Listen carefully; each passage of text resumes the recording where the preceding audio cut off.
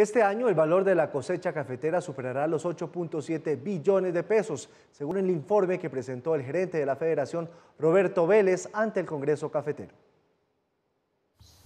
Al cierre del año cafetero, eso es septiembre de 2020, la cosecha cafetera alcanzó un valor de 8,7 billones de pesos, el mejor nivel registrado en 20 años. 8.7 fue en el año cafetero, pero estoy seguro que nos vamos, en la medida en que vamos aumentar, llegando a, a diciembre, vamos a estar muy cerquita de los 9 billones de pesos. El gerente de la Federación de Cafeteros dejó claro que eso no significa que se hayan solucionado todos los problemas o que el país esté en bonanza, pero sí que muchas personas encontraron una alternativa en medio de la pandemia. Es bueno decir que aquí nadie está que le sobre la plata en los bolsillos.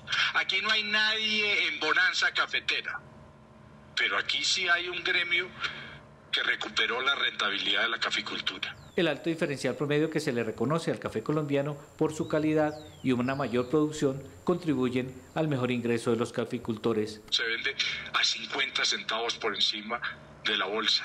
Ese no es el comportamiento normal del, del, café colombiano.